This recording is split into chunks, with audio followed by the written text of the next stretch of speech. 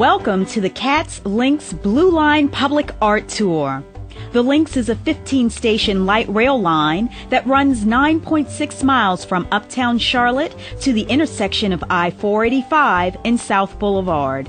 You will find art integrated at every station of the LYNX Blue Line that is intended to provide a unique experience for the transit user, whether they ride the line daily or only on special occasions. On this tour, you will learn about the art and the 13 artists who were inspired to make Charlotte's light rail line a ride unlike any other. This tour will involve both walking and riding. So please, follow the safety regulations that are posted in the light rail vehicle and on the station platforms. You will need a round trip or one day ticket, which can be purchased from ticket vending machines on the station platform or online at www.ridetransit.org. You will begin the tour at the 7th Street station and end at the I 485 and South Boulevard station. Feel free to pause the tour at any time if you would like more time to view a specific artwork. The entire tour will take approximately two hours. Please check the LYNX Blue Line schedule before you begin at www.ridetransit.org. Let's get started.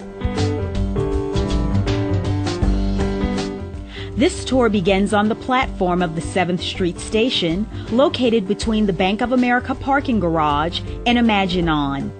Standing on the southbound platform, you can see art by three different artists. Look across the tracks to the passenger shelter. Area artist Sean Cassidy has designed the etched glass of the windscreen and the mosaic column cladding. He also created the leaves in the fence between the tracks. The veins of each leaf have been replaced by a street map of the area surrounding the station.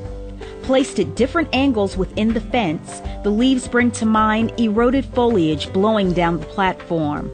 The implied movement and the altered skeleton of the leaves gives transit users a way to contemplate change in relationship to both nature and the city of Charlotte.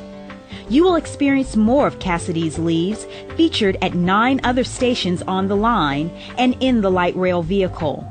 All leaves are native to the area, Listen to the artist describe what inspired his art that is now providing you with an experience. Uh, one of the experiences that influenced my work for the Blue Line in the most um, significant way was um, a walk I went on with my wife in Landsford Canal State Park in South Carolina. And on that walk, I found a, a leaf, an eroded leaf, where all of the the meat of the leaf had been eroded and just the, the skeletal veins of the leaf were left. And I picked this leaf up and, and took it home, put it on my desk, and set it next to a, by pure accident, by next to the map of the um, of the of the stations where CATS was proposing that uh, sculptures be built, and there was an incredible visual similarity between the characteristics of the leaf and what a map looked like.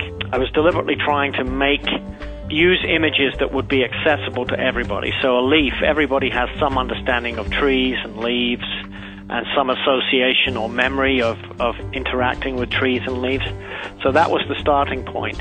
And then within that that idea, I tried to make it a more layered experience. So, for example, in the in the leaves in the fence, the leaves in the fence represent both growth and decay, with the green being growth and the, the skeletal veins being decay, and the veins in the leaves also represent maps around the community. So it's a kind of layered experience. Some people will just see leaves, some people will see growth and decay, some people will recognize that it's a map, and it may take several times on the light rail to actually penetrate those three ideas. Next to the passenger shelter, you will see a bench by Asheville artist Hoss Haley titled River Rock. You will see four more of his benches later in the tour. At both ends of the station, cast in the low concrete walls that separate the light rail tracks from the platform, called a cheek wall, is a bas relief that continues the use of the ginkgo leaf. There are 47 bas reliefs throughout the system depicting ginkgo, hornbeam, and skyrocket oak leaves. These 16 inch reliefs transform an abundant material in the light rail system, concrete, into a unique element at every station, and the relief is cast by using a rubber mold provided by the artist.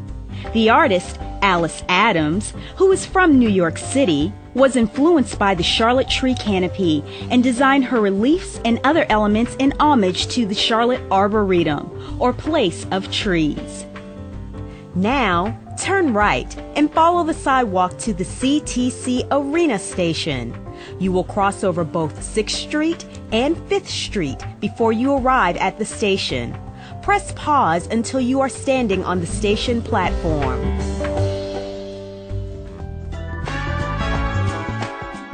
When you arrive at the CTC Arena station, you are surrounded by the work of well-known public artist Andrew Leicester.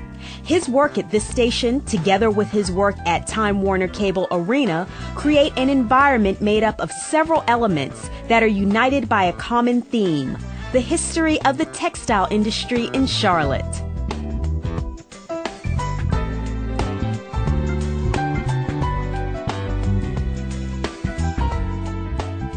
First, look down at the platform. The bold pattern under your feet is the zigzag reverse twill weave that Leicester discovered in the American Cotton Handbook.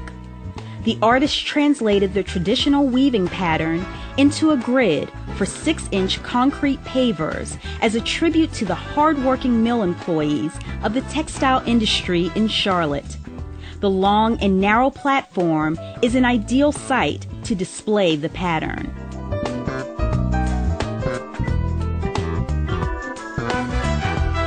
Locate the designated pedestrian crossing at the north end of the tracks. Carefully cross over the tracks to the other side of the station. When you are there, look over the railing at Time Warner Cable Arena Plaza.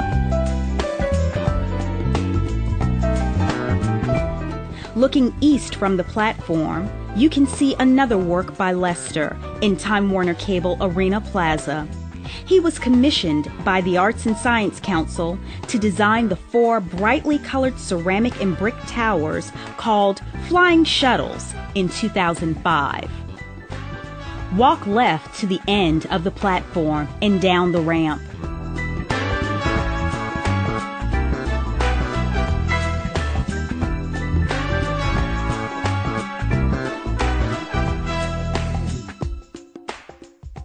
Then turn right and go down the stairs into the plaza of the arena to get a better view of flying shuttles. Leicester also created 23 glazed ceramic sculptures incorporated into the facade of the arena.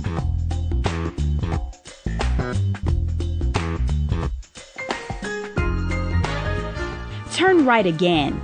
Stop when you are standing underneath the light rail bridge.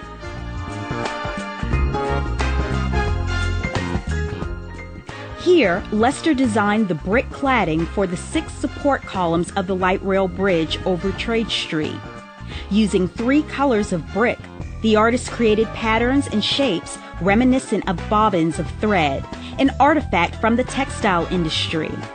The artist talked about the importance of using a common theme at the light rail station and in the plaza. Well, I think that one has to think of one aspect of public art is its usefulness in in um, knitting disparate things together. It has a it has a kind of urban design function. So when, for instance, when one uh, gets to the Trade Street station, you look out over the railings and you see the flying shuttles, and so there's a kind of an environment that is being created there, a spatial environment with these with these uh, objects that are very very, uh, if you will, independent and quite unique, but they all come, they're a family of forms that are connected in terms of their theme. And I think, uh, and by that sense, they claim a whole space, and that space becomes, um, if you will, infused with the kind of um, intention of those works and the theme of those works. Cross under the bridge and take the elevator on your right up to the station. Pause the tour until you are once again standing on the southbound platform.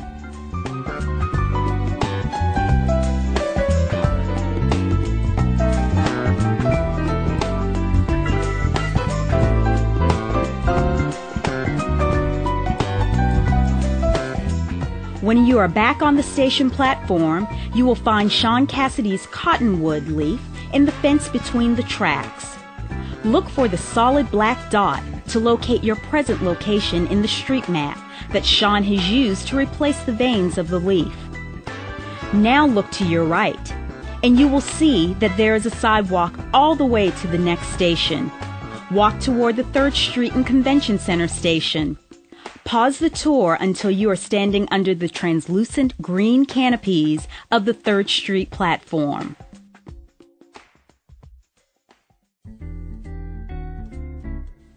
Welcome to 3rd Street and Convention Center Station. The artwork at this station is unlike any other station because, as you can see, the standard shelters have been replaced by 20 brightly colored sculptural canopies. These canopies were designed by well-known public artist Jody Pinto. Titled Light Station, each of the green and berry-colored fiberglass canopies and benches are transparent. At night, when lit from within, or when light from the sun filters through during the day, the transit rider is surrounded by a dramatic glowing landscape. Pinto also designed the paving pattern to complement the shadows cast by the glowing canopies. Light has always been a central factor in my work, uh, whether it's natural light or fabricated light. Um, it light is something that uh, puts people on on stage in a sense. It it awakens them. Uh, it it makes them see and realize the surroundings around them in a in a different way, depending on the time of day, um, and depending on even the color of the sky.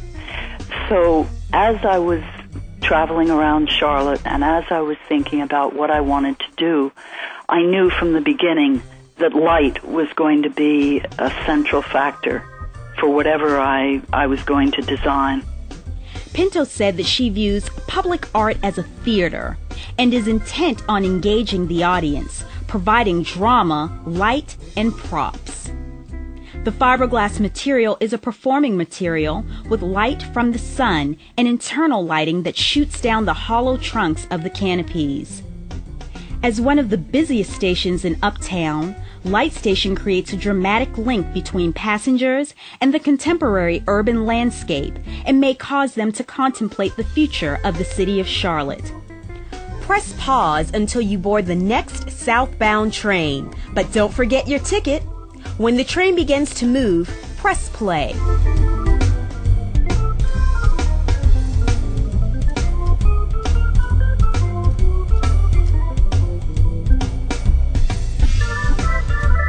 Now that you are inside the light rail vehicle, look up to the ceiling. This is another work by Sean Cassidy. Here, he continues his use of leaf shapes native to the area. The changing colors convey the four seasons, and the parallel lines suggest a sense of continuous movement. One of the things in my own work, I suppose, is I often try and make work that looks like it's undergoing some kind of change or, or um, transformation. So the leaves look like they're growing, and they also look like they're decaying. And the ceiling graphic on the inside of the trains was deliberately designed to kind of reflect the changes of the season. So if you look up in the ceiling on the trains, the, the leaf pattern changes colors and the colors kind of correlate in my thinking from colors that would equate to spring to summer to fall to winter. So as you move down the length of the train, it's almost as if you're moving through time and, and, and season. To create this art for the train ceiling, Cassidy produced an original work using a unique layered painting process he developed. I lay down layers and layers and layers of paint, and then I put two layers or three layers of white paint on the top, and then I take an electric sander and I sand through the layers of paint to reveal the drawing underneath. So it's almost like a reverse process of drawing. No, normally in drawing, it's an adding process where you make a mark on a piece of paper. And in my case, what I'm doing is, is a reversal of that. By taking away material, I'm actually making a mark. Now look down at the seats of the train, where Cassidy has designed a pattern fabric that reiterates the leaf theme of his other art. The overlapping leaves and the monochromatic palette create a soothing and unique pattern. These artworks are subtle, yet the artist has used them to create an experience for the rider that is far from ordinary. I would like viewers or riders on the trains to be momentarily disrupted by the artwork that they encounter on the light rail system. And by this I mean just momentarily taken to a different place. So when they see something on the ceiling or they see the fabric design or they see, you know, Thomas Sayre's discs out the window, it just momentarily adds to the uh, excitement and curiosity of the day, I suppose, in a sense so that often when you're riding on a train, you're just daydreaming or you're thinking about all the stuff you have to do. And these artworks, I think, are an opportunity for to be kind of taken outside of that line of thought and to think about something new that you might not have considered.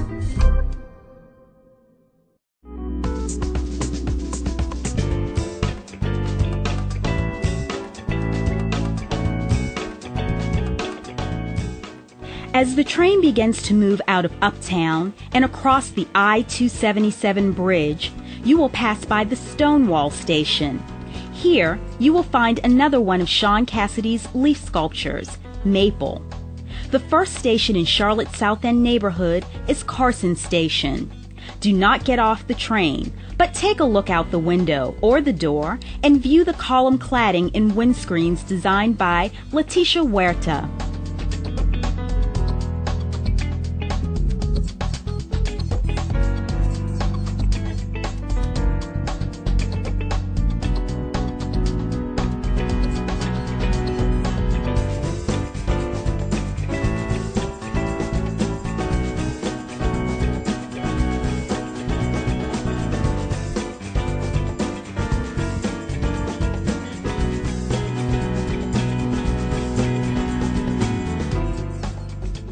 The windscreens depict swirling waters and gold mining pans, while the column cladding shows intermittent flecks of gold in the mosaic tile.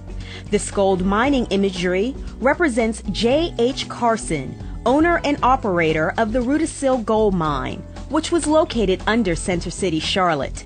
In fact, the first documented gold discovery in the United States occurred only 25 miles from Charlotte, and at one point in time, the gold mining industry was the second most common employment in North Carolina. In 1835, Charlotte became the home to a branch of the United States Mint, producing over $5 million in gold coins before the Civil War. Continue riding south to the Bland Street station. Pause the tour until you exit the train and are standing on the southbound platform.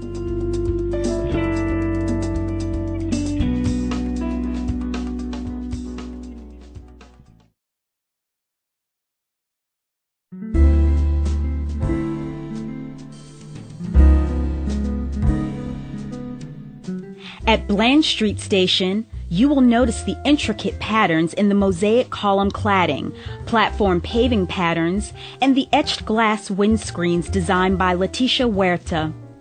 The winding rose patterns on all three are inspired by floral fabrics and the Victorian architecture of homes in the surrounding South End neighborhood of Dilworth. Walk south to the end of the platform and turn right, where you will see a low wall with a series of four small bronze sculptures by Washington, D.C. artist Yuriko Yamaguchi titled Dream Keepers. The intentionally ambiguous shapes allow pedestrians walking by to wonder is it a bird or an umbrella? Is it a flower or a musical instrument? The artist has called this project a visual riddle, offering viewers an opportunity to use their imagination and create their own stories for these elusive but slightly familiar objects. As you turn to make your way back to the platform, you will find a water fountain that has much more to offer than a cool drink. New York artist Nancy Blum created the sculptural drinking fountain basins for every Lynx Blue Line station. As you bend down to take a drink, you will see a Fibonacci spiral representing natural growth patterns. Bloom chose to include the blossom of the dogwood tree because it is the state flower of North Carolina. Cast in bronze, the basins will develop a rich patina over time. Return to the platform and carefully cross to the other side of the station to see another of Hoss Haley's River Rock benches. Haley replaced five of the standard benches on the line with a hand polished concrete version inspired by smooth stones found in the streams and rivers of North Carolina. The artist creates both a reason and a space for contemplation, focusing on comfort as a key element. Haley said that he wanted any part of the art to conform to the body in a way that was pleasing without dictating how one would sit on it. The familiar shape and the smooth finish provide an inviting place for passengers to sit, while the organic form contrasts the symmetry and strong geometric lines of the station platform. Look in between the tracks to find another of Sean Cassidy's leaves, Pin Oak. Turn left and walk down the sidewalk to the East West Boulevard station. Press pause until you are standing on the station platform.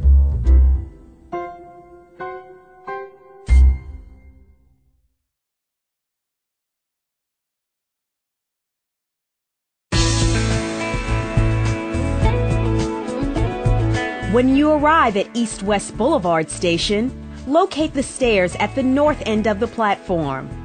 Go down the stairs and look to your left down Camden Road.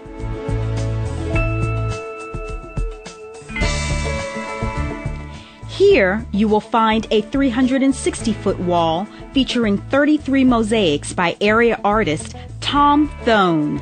By laying out the mosaics in the shape of machine cogs, the artist makes a reference to the machinery of the textile mills. Please use caution as you walk along Camden Road to view this artwork. To create his mosaics, Thouin used the Trencadís method, in which irregular shards of ceramics are reused for large mosaics. In order to collect materials for the art, CATS and the artist initiated a community collection, inviting Charlotte Mecklenburg residents to participate in the artistic process by donating their own whole or broken pieces of china glassware, or ceramic pottery. The community responded enthusiastically by bringing their items to Thouin studio at McColl Center for Visual Art. When they came to donate, they also shared the stories and significance of each piece with him. By incorporating the collected materials into his designs, he preserved the personal stories of the community members who donated their treasures.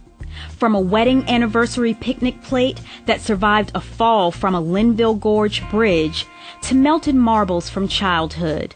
From blue willow dishes and even a sugar bowl that once held the ashes of a beloved grandfather. The memories of the community are intermingled with the history of the area that the wall as a whole outlines. There are cogs that honor the history of Charlotte from the Revolutionary War through the textile and tobacco industry, and even to the present day development spurred on by the light rail. In addition to the community collection, there are also original pieces by local artists Terry Shipley, Patrick Robertson, and the late David Ray Chisholm. The artist also led workshops with students from Charlotte Montessori School, Trinity Episcopal School, and the West Boulevard YMCA, teaching them about mosaics and incorporating their original pieces into the wall. Watch for cars and carefully walk to the end of the wall, then turn left to return to the station platform.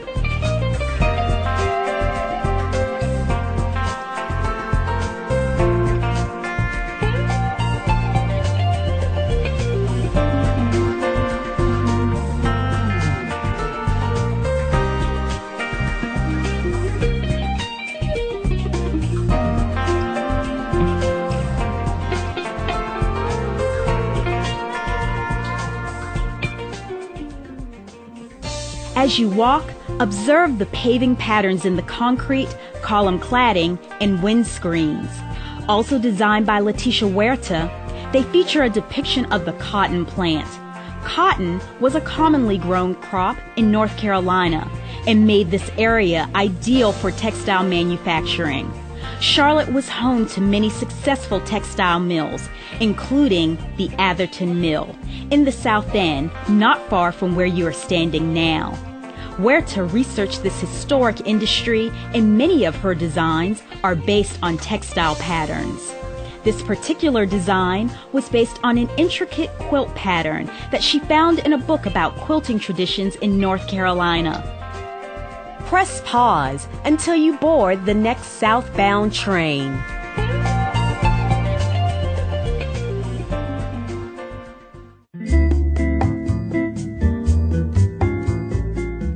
Do not exit the train at the New Bern station, but as you pass by, be sure to notice the different shape of the pavers at the station.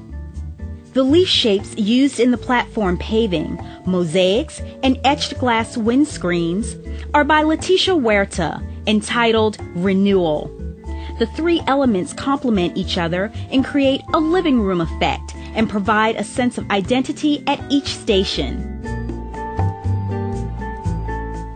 After you pass the New Bern station, the train will travel under an archway.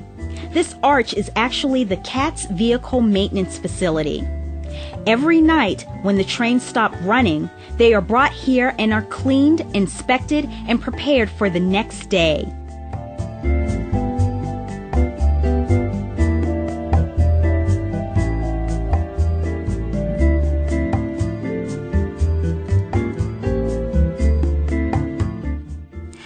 You are approaching the Scaleybark station, you will be greeted by a work made up of six sculptural discs by North Carolina artist Thomas Sayre entitled Furrow.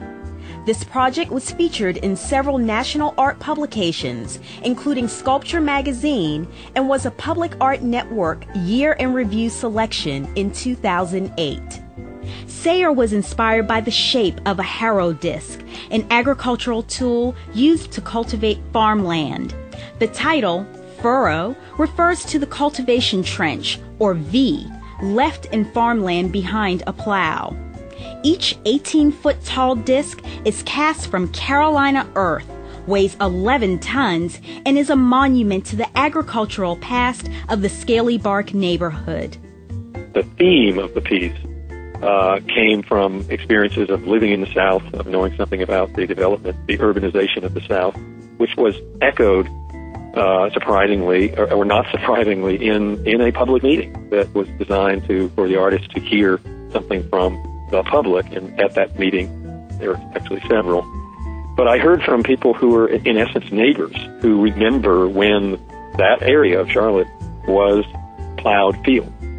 Um, and the concept of the piece came from that notion of once there were plowed fields right there within you know, yards, hundreds of yards of the Scaleybark Station.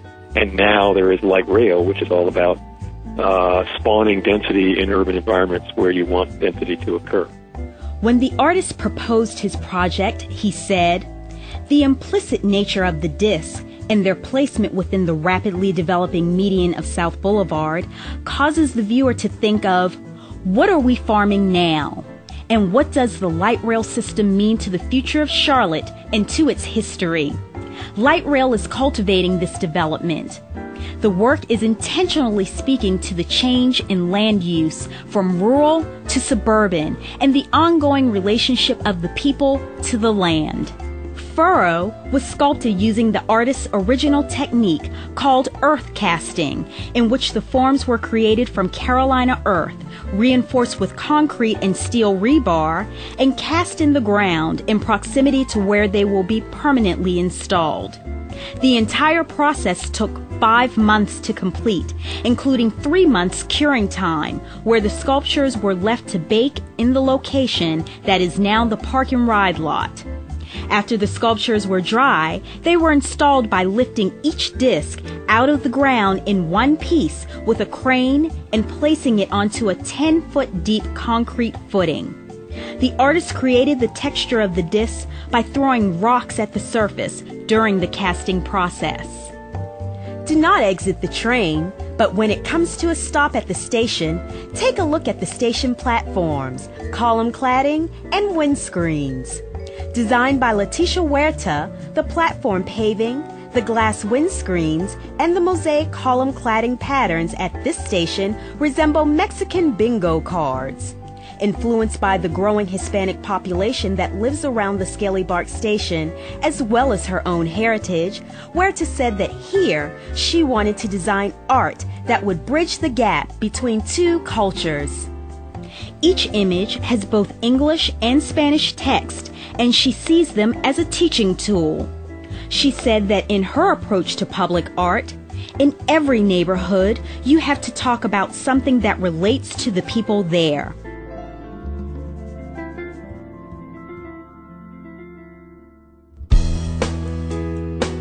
As you pass the Woodlawn station, you will see more windscreens, column cladding, and platform paving by Leticia Huerta titled Leaves, and another River Rock bench by Haas Haley.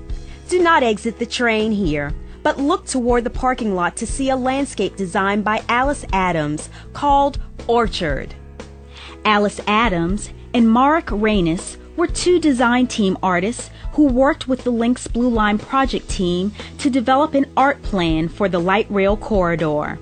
They identified a common theme of my place, my choice, my ride, my story, and laid out specific art opportunities for other artists throughout the line. Their involvement ensured a sense of continuity throughout the stations. It was Alice's deep interest in the local tree canopy that inspired an arboretum theme that you see echoed in many of the other artists' work. Arboretum means place of trees.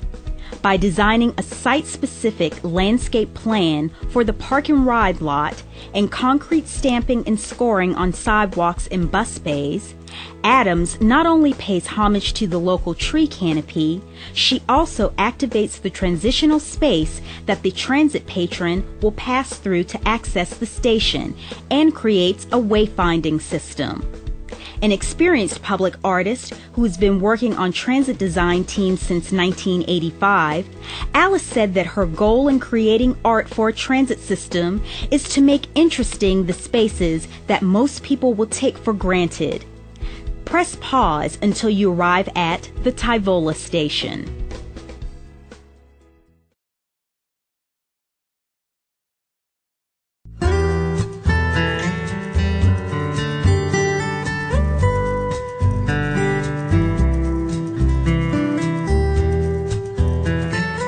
When you exit the train at Tyvola Station, walk right and go down the stairs. As you walk down, you will see a sculpture nearly two stories tall entitled Reconstructed Dwelling. This sculpture by Dennis Oppenheim is made of common home building materials and incorporates recognizable elements of a house, a set of stairs, a roof, walls, and windows. By reorganizing the known elements of a house and setting them above a floor plan of a typical home in the neighborhood, Oppenheim is challenging the viewer to rethink the conventional idea of home. The artist has said that this project is art becoming architecture and architecture becoming a stage.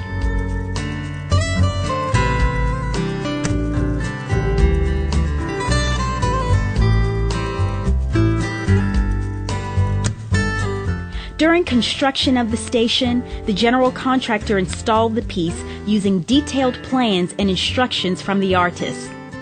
Dennis Oppenheim is a well-known public artist with work all over the United States, Europe, and South America. His work has been featured in exhibitions in Milan, Athens, Barcelona, New York, San Francisco, and Paris.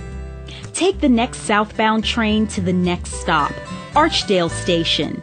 Pause the tour until you are standing on the station platform.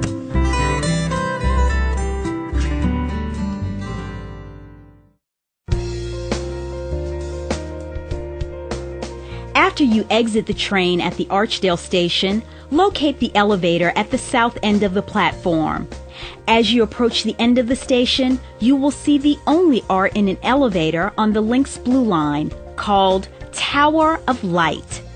The artist, the late Richard C. Elliott, has been recognized for his large scale installations using small plastic industrial reflectors.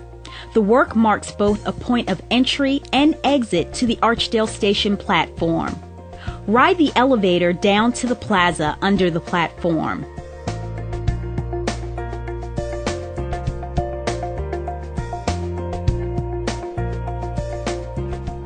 From inside the elevator, the 36 separate panels comprised of two layers of colorful industrial reflectors create the visual effect of stained glass as light passes through them. As you ride down the elevator and the patterns are revealed to you, you will experience a prismatic display of color, light, and motion. Some glass was intentionally left blank on either side of the elevator to give the rider a view of the surrounding landscape.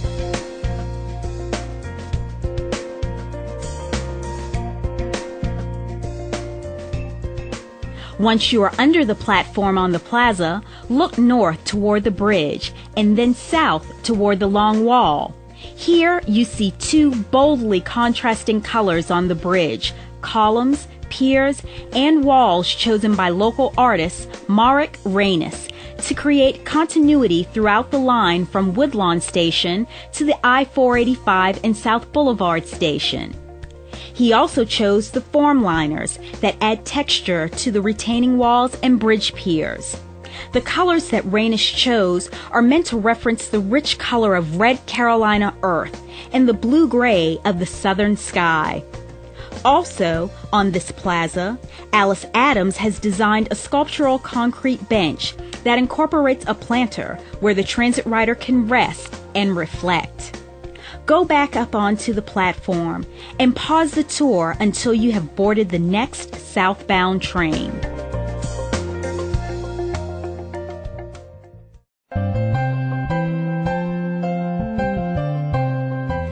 As the train moves south to our final stop on the tour, you will pass by the Arrowwood station. Do not exit the train, but as you go by, take a look at the mosaics, etched windscreens, and platform paving. Also designed by Leticia Huerta, the patterns here are references to the Native American pottery of the Catawba Indians. The Catawba Indians were the original inhabitants of this area, living along the Catawba River between North and South Carolina. The black snake that you see coiled around the column cladding is one of the oldest images used in Catawba Indian pottery. The Catawbas historically tattooed this symbol on the shoulder blades of respected war captains.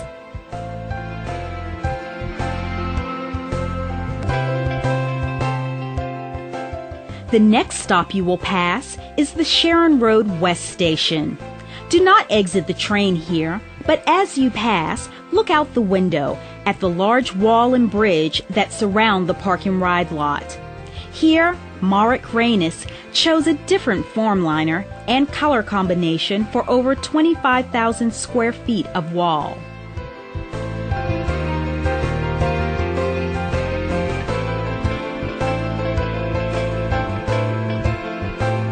Here, the texture of the walls resembles tree bark and foliage, reiterating the Arboretum theme and complementing Alice Adams' butterfly circle landscape. Pause the tour until you reach the I 485 and South Boulevard station.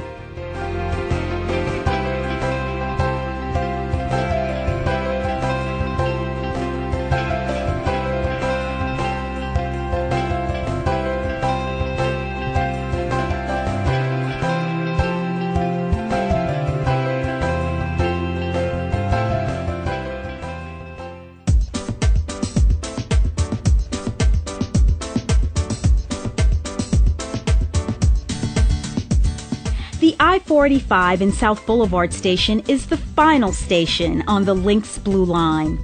At this station, you will find art by Leticia Huerta, Alice Adams, Nancy Blum, and Marek Ranis. Leticia Huerta responded to Sterling Elementary School that is in proximity to the station. The school's playing fields are actually located on the roof of the I 485 parking garage. Huerta visited Sterling Elementary School to involve the students in the station art. The graphic geometric shapes of the windscreens and the bright primary colors of the mosaics and paving patterns were inspired by children's playground games. Alice Adams influenced the design of the landscape on the sloping hill, deliberately complementing Huerta's station art. The best view of the landscaping can be seen from the pedestrian bridge at the south end of the station.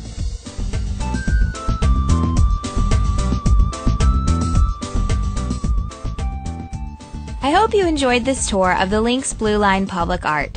You will conclude your tour here at the I 485 and South Boulevard station. To return to the 7th Street station, make sure that you have your round trip or one day ticket and board the next northbound train. This podcast was brought to you by the Charlotte Area Transit System Art and Transit Program. I am Katie Stegall, Art and Transit Program Assistant and producer of this tour.